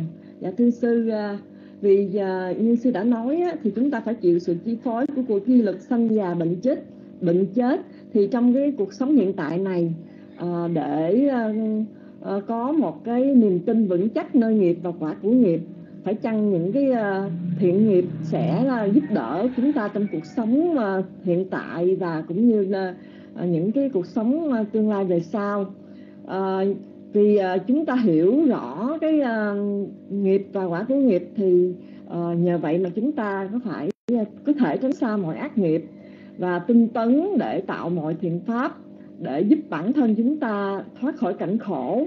Và cũng như sư đã nói thì chúng ta phải có sự làm chủ uh, bên trong tâm nghĩa là qua cái thiền quán uh, thiền tuệ thì chúng ta uh, luôn uh, trở về trong ta uh, hiểu những cái gì xảy ra trong tâm để à, không bị chi phối bởi các đối tượng bên ngoài. À, và có và ừ, hình thành nên trong tâm chúng ta có cái một cái thiện tâm trong sáng à, để điều khiển thân khẩu ý mà thực hành theo thiện pháp. Thì như vậy thì chúng ta mới à, sống được an nhiên trong cái cuộc sống à, đầy biến đổi của cái các pháp hữu vi phải không thưa sư? Và nhờ vậy thì chúng ta Ờ, nhờ luôn luôn lúc nào chúng ta cũng cũng uh, sống uh, hiểu rõ cái uh, những diễn biến trong tâm thì uh, chúng ta sẽ không bị đắm nhiễm trong quả lành cũng như không bị uh, buồn khổ trong quả xấu. Và cũng như sư đã nói thì khi mà chúng ta tạo được những cái cái niềm tin chúng ta hiểu được cái những cái gì xảy ra trong tâm do vậy thì chúng ta cũng có một cái hành lý vững chắc để ờ, ờ, bước đi trên con đường sanh tử, phải không, thưa sư? Và xin sư ờ, giải rộng cho con được rõ hơn ạ. À. dạ con kính thỉnh sư.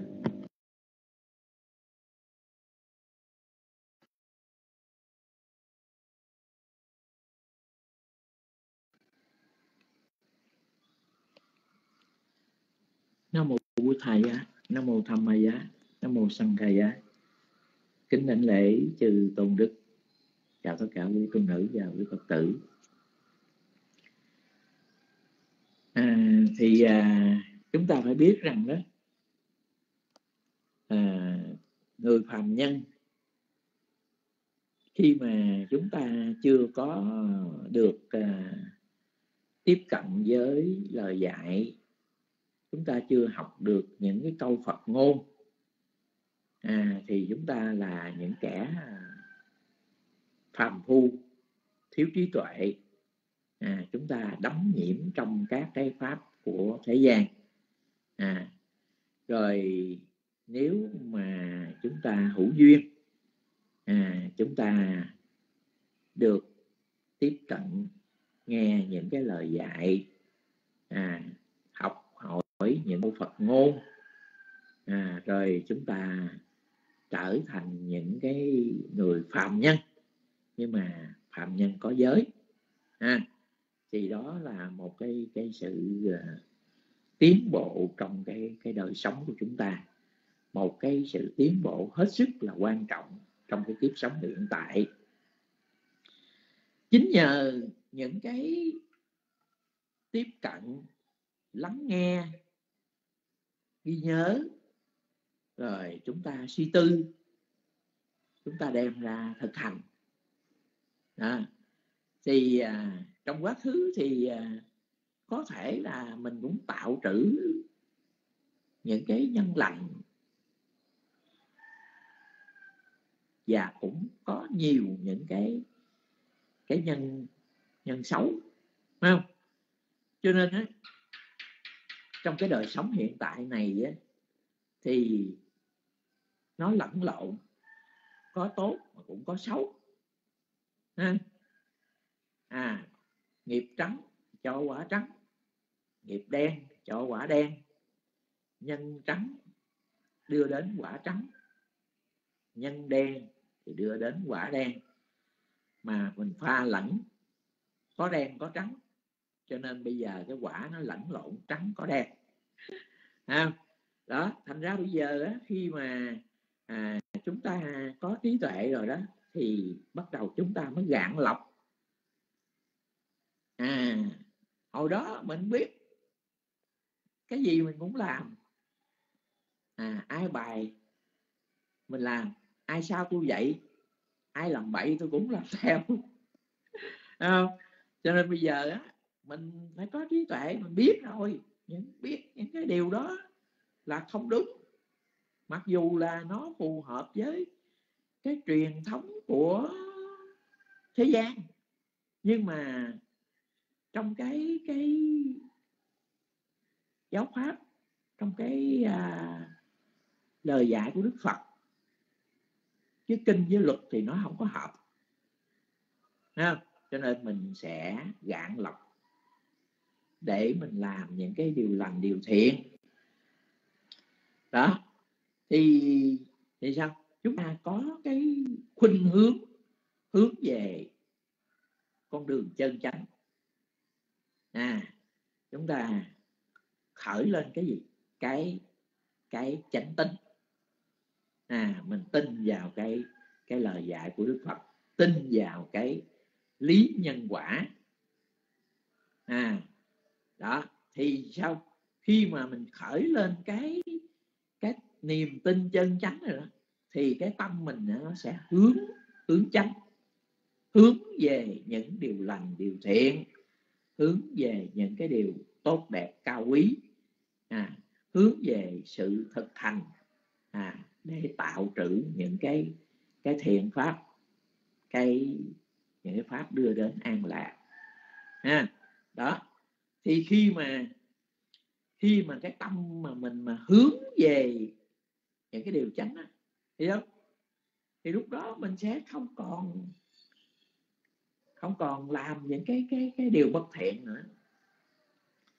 Và những cái cái sự thực hành của cái cái thiện pháp trong cái cái đời sống hiện tại này, mặc dù nó chưa cho quả, bởi vì bây giờ mình mới gieo mà Thấy không? À nó phải có một cái thời gian để cái nhân nó mới phát triển thành quả. Đó, cái quả này là là về sau.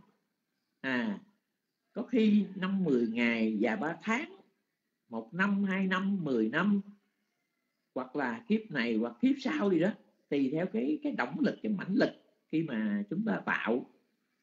Nhưng ít ra đó là chính cái khuynh hướng cái cái cái chí hướng cái cái chánh tâm này, này nó cũng cản trở cái cái cái bất thiện một phần nào. Nha. Những cái sở hành thiện pháp trong hiện tại này mặc dù nó không thể nào thay đổi các cái cái quả xấu. À, nhưng mà ít ra đó nó cũng che án nó giảm thiểu bớt. À nó làm giảm thiểu đi cái cái cái quả xấu. Phải không? Bây giờ á bây giờ á nếu mà một cái người mà không có phân biệt được thiện hay là bất thiện. À, hàng ngày họ xu hướng họ thực hành gieo trồng các cái pháp bất thiện. Để sao? Thì tạo điều kiện dung bồi cho cho bất thiện nó nó, nó sanh khởi. Thấy cái các cái sự thực hành trong cái đời sống hiện tại này thì nó sẽ tạo nhân tạo duyên để cho cái quả nó sanh khởi. À, nếu mà trong tương lai à, nếu mà trong quá khứ mà những người này đã gieo những cái cái hạt giống là bất thiện thì chính những cái cái sở hành bất thiện trong hiện tại này nè nó là cái mảnh đất màu mỡ để cho cái cái quả quả xấu nó sinh khởi à còn chúng ta nếu mà trong quá khứ mình vô minh à, do phiền não thúc đẩy mình cũng đã tạo trữ những cái cái nhân bất thiện. Nhưng trong đời sống hiện tại này mình xa rời. À, mình cố gắng hướng về những điều lành điều thiện. Thì sao? Thì cũng là một cái năng lực cản trở để cho cái quả xấu nó nó, nó sanh khởi đó thành ra thành ra mặc dù những cái sở hành à, hướng về con đường chân chánh à, tâm hướng chánh à, thì nó cũng có cái năng lực để mà mà cản trở ha. còn những người quý vị thấy rằng có những người á, họ có phước. Họ sinh ra trong những cái dòng tộc địa vị cao sang quyền quý có tài sản rồi kia nọ. Nhưng mà họ lại không có cái cái tâm hướng chánh. Họ ý dựa vào quyền thế tài sản rồi họ làm những cái điều bất thiện à, hung hiếp áp bức những cái người vô tội. Thì sao? Thì chính vì cái cái tâm mà hướng về những cái điều tà dại này, nó là cái mãnh lực để cản trở để diệt trừ cái suy yếu đi cái cái cái cái cái quả lành. Và đến một ngày nào đó đó khi mà cái bất thiện nó mạnh thì họ chấm dứt những cái quả tốt mà họ đã dung bội. Đến lúc cái quả xấu nó trổ sẽ đem đến cái khổ đau không? thành ra đó bây giờ ngay trong đời sống hiện tại này nếu mà chúng ta cố gắng nỗ lực thực hành các cái thiện pháp à, dung bồi thiện pháp à, thật nhiều dung bồi trí tuệ thì sao thì mặc dù là không có thể thay đổi hoàn toàn cái cái quả xấu nhưng chúng ta có thể chuyển đổi à, cái cái cái quả xấu nó có thể giảm bớt đi hoặc là à, không có điều kiện để cho cái bất thiện nó nó sanh khởi. À, tạm thời lắng dịu những cái khổ đau. À, đó thành ra đó thành ra là đức phật nói đó khi mà mình mình, mình làm phước mình tạo những cái thiện pháp. À, nay vui đời sau vui. Làm phước hai đời vui. Không? đó khi mà quý vị thực hành những cái thiện pháp thì chưa nói vấn đề gì sâu xa à, nhưng mà khi mà mình làm được một cái thiện pháp mình tìm hiểu thấu một cái câu Phật ngôn thì sao? Trong tâm mình có cái cái niềm quan hỷ. Niềm quan hỷ. Mình biết được cái pháp mà mình chưa từng được biết. Nhá. Những cái cái lời dạy của Đức Phật nó cao quý nó sâu xa. À mà bấy lâu nay mình không không hiểu được. Bây giờ mình mình hiểu được. Thì sao? Thì trong trong tâm tư quý vị có cái niềm quan hỷ. À, đó. Đó cũng là một cái thiện pháp. Đúng rồi chính nhờ cái cái niềm quan hỷ này, bắt đầu nó làm gì? Nó dung bồi lên cái trí tuệ. Để gì? Để bắt đầu mình mới có tàm có quý. Mình mới ghê sợ ha, kinh tởm với các cái ác bất thiện pháp.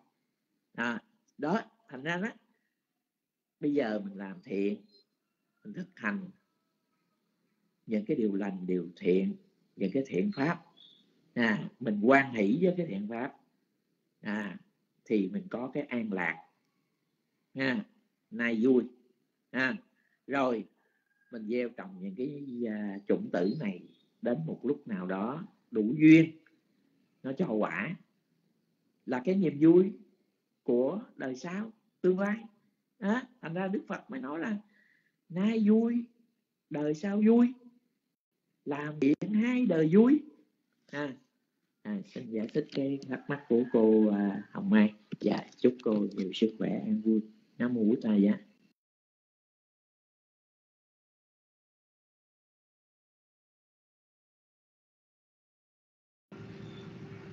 Dạ, sa thú, sa thú. Dạ, con kính chuyên sư đã giải thích câu thắc mắc của đạo hữu Hồng Mai ạ. Dạ, xin mời quý vị ạ.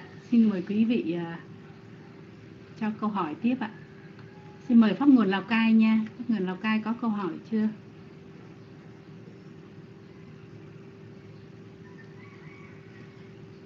Dạ, con thưa sư.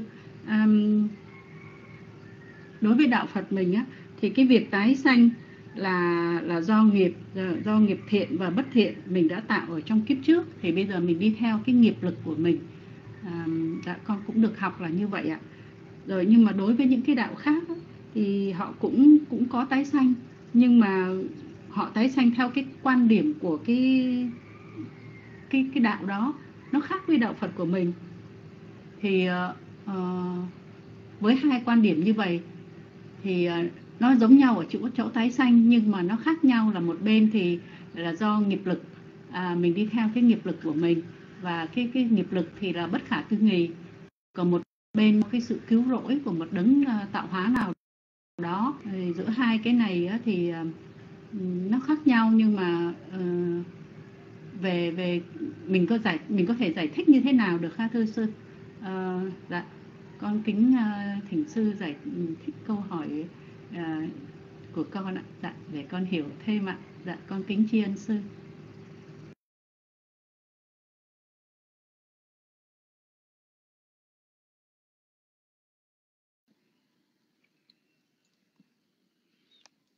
Nam mô bút thầy giá nam mô thầm ma giá nam mô sanh ca giá.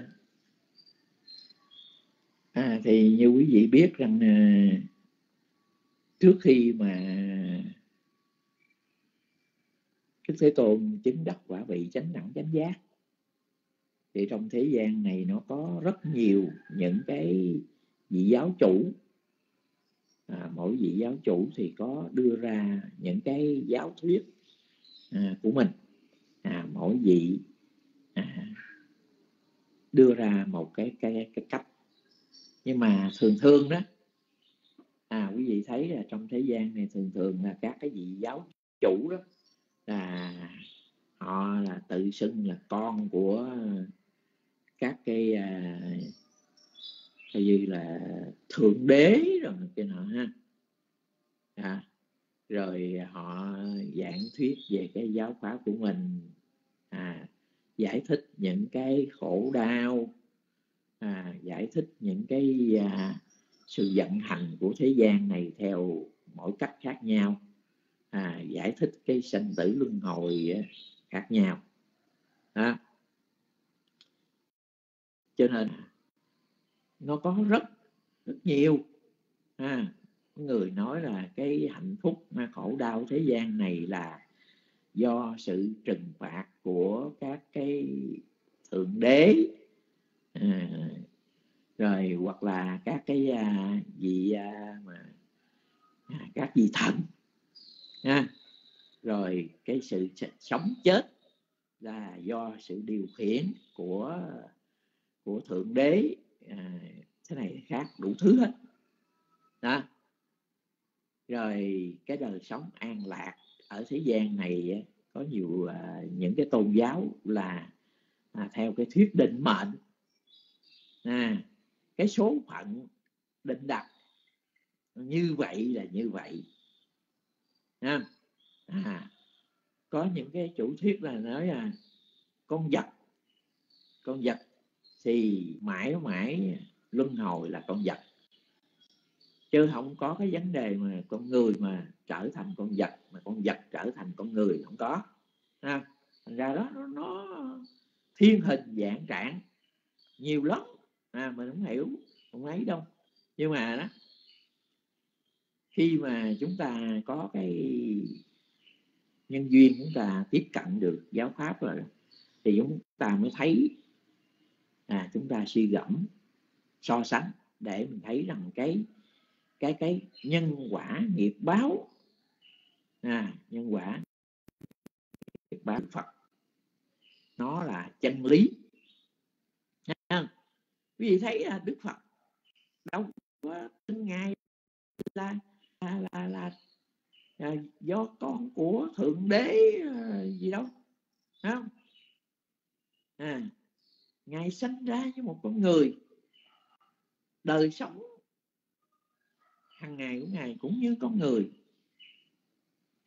Đó ngài sinh ra cũng có dòng tộc.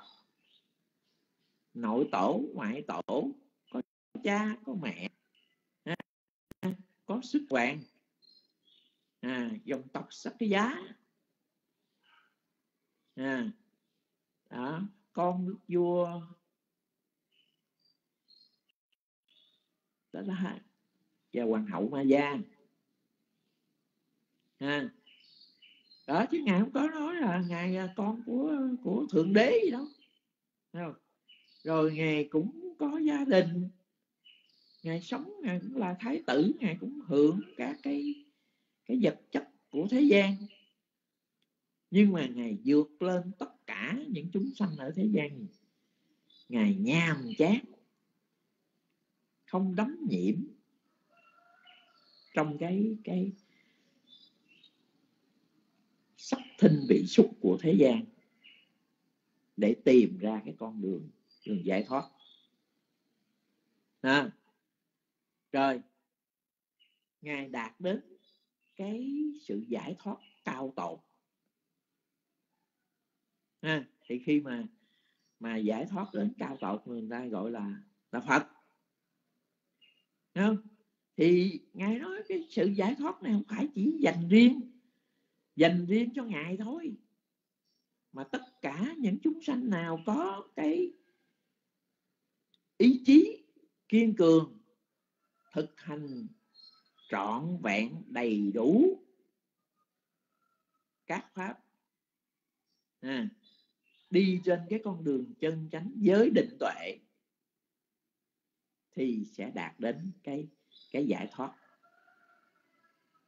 Thì mặc dù á, là là là là là, là cái cái cái cái uh, mức độ giải thoát thì nó nó khác nhau có cao có thấp ha, tùy chí nguyện của mỗi người bậc chánh đẳng chánh giác là bậc thinh văn giác. Nhưng khi mà tất cả các cái lậu hoặc trong nội tâm đoạn trừ nó như nhau đó cho nên á làm người ta mới nói là khi mà khi mà đạt được mình nói là chữ Phật đó, sự giác ngộ sự giải thoát đó. đó thành ra đó thành ra khi mà chúng ta thực hành đầy đủ các cái cái công hạnh các pháp độ à, thực hành trọn vẹn bát chánh đạo thì chúng ta thành Phật trong khi các cái tôn giáo khác đó sao? À mình thực hành mình phụng thờ đấng thần linh à, tôn trọng đấng thượng đế rồi này kia nọ đó. Mai mốt mà mình sẽ trở về à, được trở về với các đấng thần linh trở về với thượng đế. Chứ đâu được làm thần linh đâu được làm thượng đế đâu. Thấy không? Thành ra đó chúng ta phải thấy rằng á, mỗi mỗi cái chủ thuyết à, mỗi cái giáo phái à, mỗi vị giáo chủ giải thích về cái đời sống thế gian này à, những cái hạnh phúc khổ đau của thế gian này theo mỗi cách. Rồi họ đề ra mỗi cái phương pháp tu tập khác nhau à, à, nhưng mà đức phật dạy mình nghe một điều gì? Không dội tin không dội bỏ. À, chúng ta phải dùng trí tuệ để suy xét à, tìm hiểu. Giống như cái người mà thợ gian là phải phải sao? Phải cắt phải chà phải đốt. Ha thì sau khi mình nghe đó, mình phải dùng trí tuệ mặc dù những cái cái à, cái niềm tin này nó phù hợp với cái thế gian theo truyền thống xã hội nhưng khi mình so với kinh so với lực ha, mà nó không phù hợp à, thì vì vậy mình không không tin. Ha, thành ra đó ở thế gian này ô thôi quá trời trời luôn đủ thứ chuyện trên đời à, nó rất rất rất rất rất là nhiều nhiều cái cái giờ giáo phái ờ, hiện tại bây giờ quý biết là nó có cũng có nhiều cái giáo phái nó nổi lên lắm. Ha nào là lưng công rồi ờ, gì đó. Đủ thứ chuyện ha? rồi bữa nay là à, có cái giáo chủ này nổi lên. Ngày mai có cái bà kia tự xưng là giáo chủ nữa. À, thành ra nó đủ thứ đó nhưng mà chúng ta à, với trí tuệ chúng ta xem xét à, để chúng ta chọn cho mình một cái niềm tin chân chánh. À, thì khi mà có chánh tính à, cái niềm tin chân chánh mình thì mình sẽ hướng đến thực hành à, những cái giáo pháp đi đúng hướng để đem đến cái lợi ích an vui trong đời sống hiện tại. Và nhờ cái sự nỗ lực thực hành à, để đưa chúng ta đến những cái điều thăng hoa tốt đẹp hơn trong những cái đời sống tương lai. Và xin giải thích cái thắc mắc của cô à, Kim Nhung. Và chúc cô nhiều sức khỏe an vui. Trong mô bổn thầy giá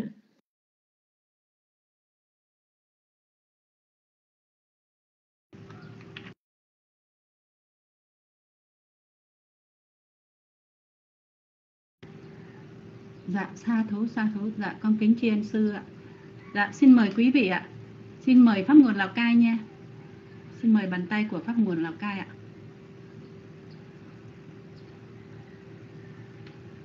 Dạ, xin mời.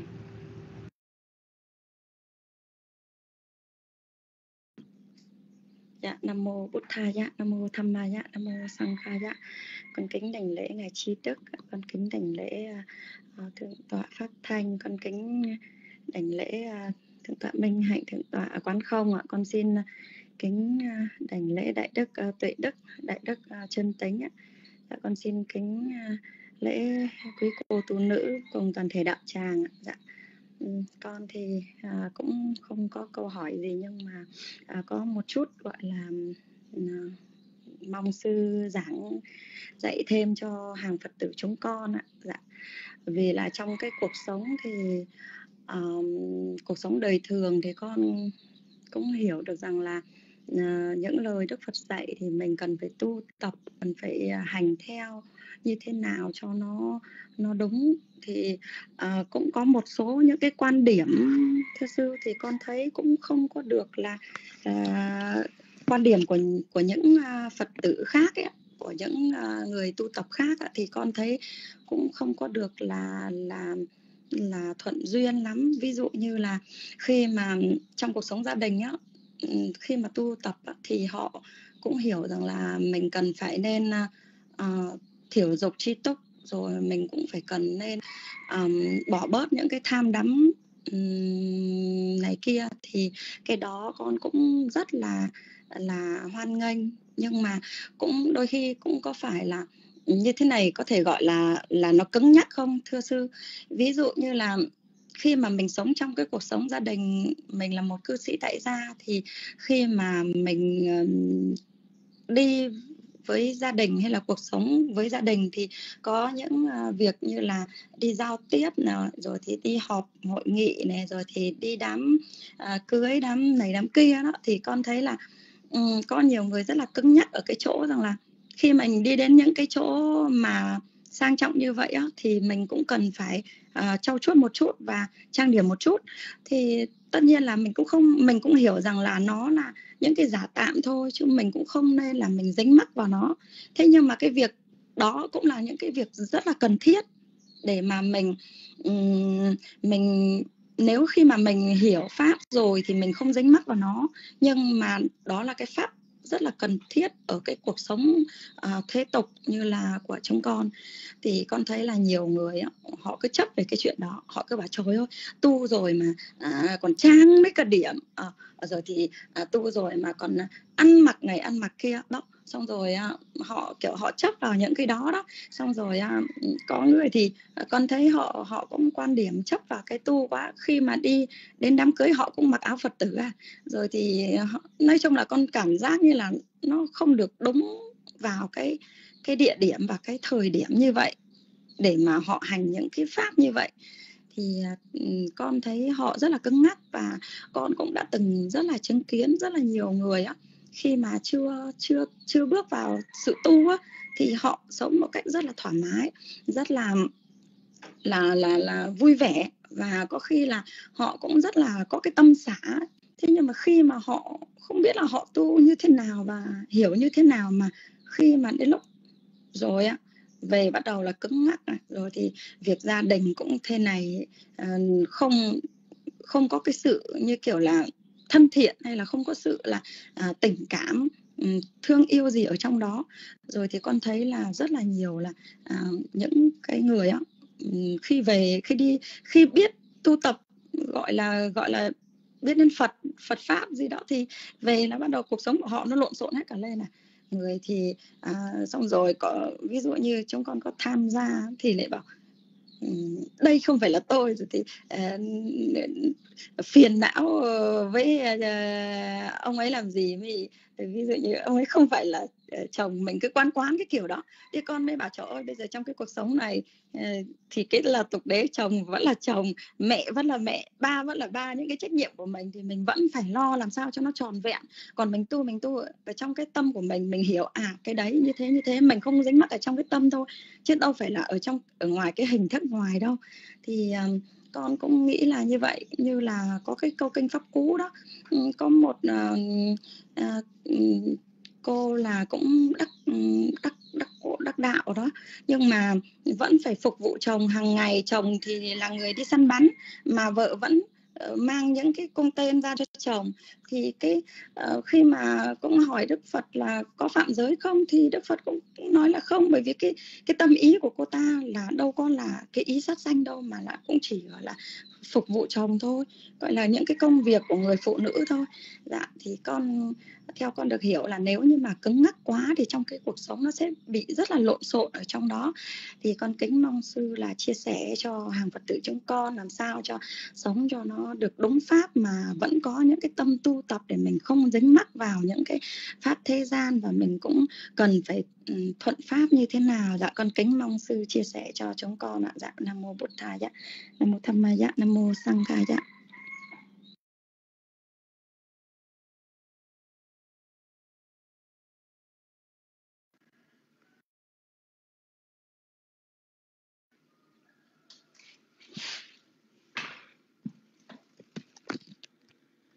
Nam mô bổn thầy giá.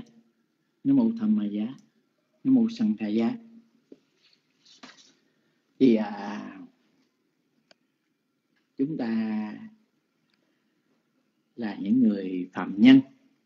À, chúng ta muốn bước đi trên cái con đường chân chánh theo cái lời dạy của Đức Phật. Nhưng mà những người xuất gia thì cái sự thực hành giáo pháp nó được thuận lợi tốt đẹp hơn. Còn hàng cận sự nam cận sự nữ là những người còn ở cái đời sống thế tục. Cho nên là trong cái vấn đề sinh hoạt công việc à, đời sống xã hội gia đình thì hàng ngày chúng ta còn phải giao tiếp à, để à, trong cái việc mưu sinh. À, rồi giữ cái bổn phận ở trong gia đình dòng tộc. Thì à, chúng ta phải hiểu rằng á, những cái những cái học giới mà Đức Phật chế định trong luật ở đây để nhằm giúp chúng ta vượt thoát ra những cái dính mắc, tham muốn để tránh những cái nhân xấu. À thì quý vị biết rằng đó, năm cái giới, ngũ giới đó là những cái nhân tại sao mà Đức Phật cấm chế. Tại vì những cái nhân này là những cái nhân mà tai hại, nguy hiểm khôn lường nó đưa đến khổ cảnh. Còn ba cái học giới trong bát quan trai giới ba cái học giới sau đó tức là không ăn phi thời ăn sái giờ. À, múa hát thổi kèn đờn xem múa hát nghe đờn kèn trang điểm thôi giật thơm dầu phấn đeo tràng hoa. À, nằm ngồi nơi quá cao và xinh đẹp. Thì ba cái học giới này đó nó không có đưa đến khổ cảnh nhưng nó trói buộc chúng ta đắm nhiễm trong cái sắc thinh vị xúc thụ hưởng cái thế gian rồi là chìm đắm trong đó mà mình không thoát ra cái sanh tử luân hồi. À, cho nên á chúng ta phải hiểu cái nào là cái điều quan trọng và cái nào là chúng ta từ bước để vượt thoát ra khỏi những cái cái nhiễm đắm à, của thế gian. Trong đời sống bây giờ trong hiện tại à, nếu mà bây giờ á, mình không có không có sạch sẽ không? Bây giờ mình nói thôi tôi tu rồi. Ăn mặc làm sao cũng được. Không? nhưng mà ở trong xã hội mà mình bê bối quá à mình lượm thượm, mình nhem nhuốc quá, thì như vậy nó cũng không hợp. Thấy không? Đó, cho nên á, là mình cũng cần phải có sự sạch sẽ. Mà trong cái sự giao tiếp trong đời sống hàng ngày đó, nếu mà mình ấy quá. Là sao mình không có tôn trọng người khác? Đúng không? Người ta tiếp xúc với mình mà bây giờ mình không có sử dụng những cái hương liệu để nó chế ngự bớt cái mùi cơ thể của mình ấy, thì cái người mà tiếp xúc gần mình ta cũng khó chịu. Nha đó. thành ra đó thành ra chúng ta phải biết rằng đó, cái gì cần và cái gì muốn. Nha khi mình chỉ sử dụng vừa phải, cần để có sự an ổn tốt đẹp và cái người mà mà sai đắm, muốn không?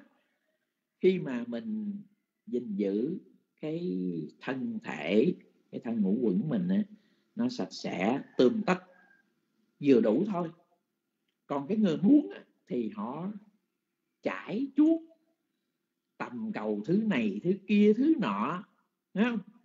À, à cần phải những cái trang sức à, thứ này thứ kia đắt tiền rồi những cái cái à, là theo cái thời à, phong cách à, kia nọ đủ thứ chuyện. Thì cái đó là là họ muốn. Còn mình á, thì giờ chỉ cần nó vừa phải chừng mực để để nó không quá tệ. À, mà cũng không có đấm nhiễm. À, khi mà mình à, nhớ Đức Phật dạy mình đi trên cái con đường trung đạo ngài không có không có ấy. Khi mà mình chấp vào cái biên kiến từ bỏ hết từ bỏ hết từ bỏ hết. Giờ tôi giờ tôi tu rồi từ bỏ hết từ bỏ hết. À đó thì cũng không phải mà sai đắm bám níu theo đuổi là cũng không phải. Cho nên á chúng ta đi trên cái con đường trung đạo vừa đủ tri túc thuận pháp tùy pháp. Có những lúc chúng ta phải theo chân đế. À, để gì? Để giảm thiểu được những cái dính mắc. Là có những lúc chúng ta cũng phải sống trong tục đế chứ. Thấy không? À bình thường ở trong gia đình. Hồi đó giờ là mình có gia đình có cha có mẹ có chồng có vợ có anh có em. À, hồi đó mình chưa học Phật pháp mình không biết. Bây giờ mình học Phật pháp rồi tất cả ngũ quẩn theo cái tục, theo cái cái chân đế là đúng vậy đó. Tất cả là là ngũ quẩn. Không có một chúng sanh, không có chồng, không có vợ, không có con cái, không có cha có mẹ, không có anh chị em nữa do nhân duyên. Cái ngũ quẩn này nó hiện khởi. Rồi một ngày nào đó cũng nhân duyên thì cái ngũ quẩn này nó tan rã. Thì đúng theo cái cái cái chân đế đó nhưng mà chúng ta còn phạm nhân. Chúng ta còn trong gia đình. Thì cái mình phải sống theo cái cái cái cái tục đế. À, mình phải làm tròn cái bổn phận làm cha làm mẹ làm vợ làm chồng làm con trong gia đình. Chứ không phải mình học xong rồi bây giờ nói thôi tôi bây giờ học Phật pháp rồi. À, mấy cái chuyện mà thường tình thế tục là bây giờ tôi vượt qua rồi. Giờ tất cả là ngủ quẩn thì không được. Mình đâu nói vậy được, phải không? Quý vị nhớ nè. Khi mà đức phật là bậc chánh đẳng chánh giác, ngài trở về ca tỳ la vệ ngài cũng vẫn tôn trọng đức vua tịnh phạn. Hả? Cũng tôn trọng các vị trong hoàng tộc. À, ngài vẫn thương mến chỉ bảo dạy dỗ lao la. Chứ không phải ngài nói à, bây giờ như lai à, bậc chánh đẳng chánh giá cao thượng trong thế gian này rồi, rồi không có. À, thành ra chúng ta phải sống thuận pháp tùy pháp lại chỗ đó. Với với bản thân mình khi mình tu tập thì mình phải sống với cái chân đế nhiều hơn. Mình gạt bỏ bớt các cái pháp thế gian để mình mới thấy được cái cái chân lý cao siêu sâu xa. À, còn khi mà tiếp xúc ở trong gia đình trong xã hội à, thì chúng ta cũng phải tôn trọng cái cái cái pháp thế gian chứ cũng phải sống trong tục đế. Nhưng chúng ta không có dứt mắt không có chấp thủ à, trong cái tục đế. À, tại sao? Thuận pháp trị pháp. À, tùy tùy hoàn cảnh tùy điều kiện để chúng ta ứng xử cho nó được tốt đẹp. Thấy không? Còn những người á nhiều khi á à, có nhiều khi người ta muốn thể hiện. À bây giờ tôi tu rồi. Giờ tôi ăn chay bây giờ tôi tu rồi tôi từ bỏ hết cái nữa chưa chắc.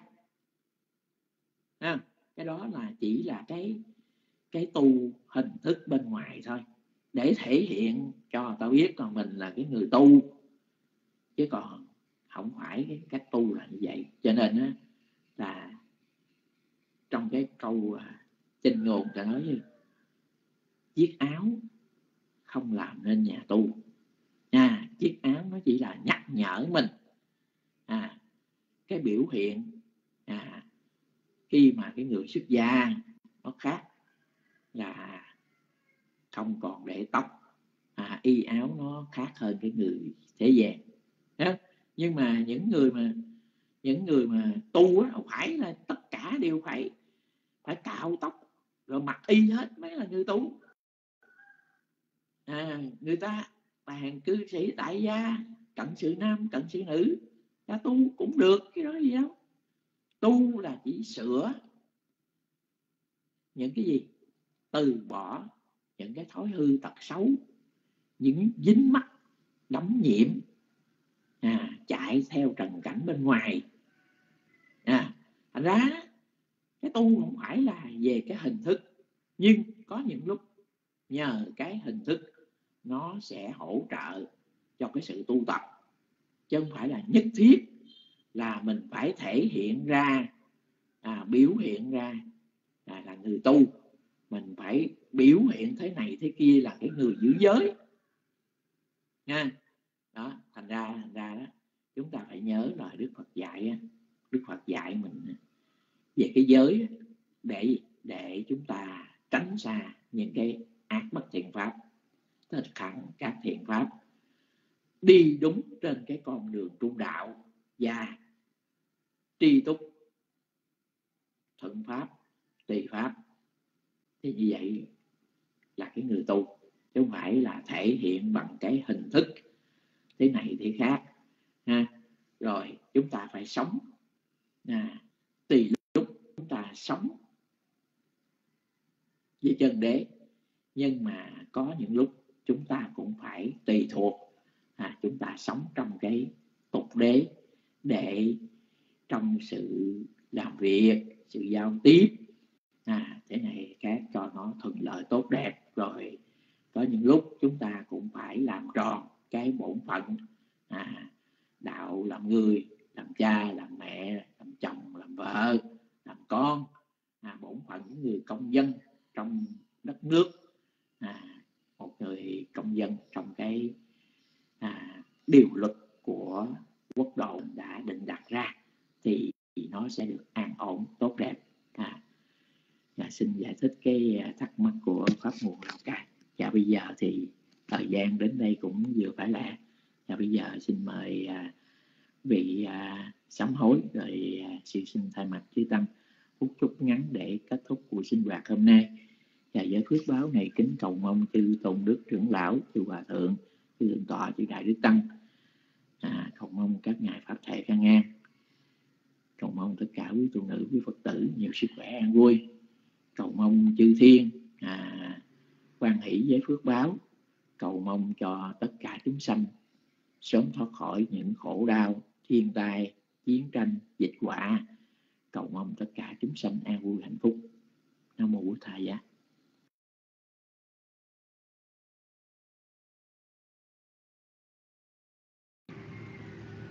Dạ xa thú xa thú dạ.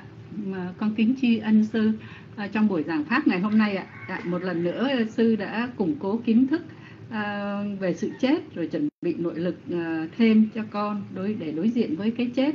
À, dạ con kính tri ân sư.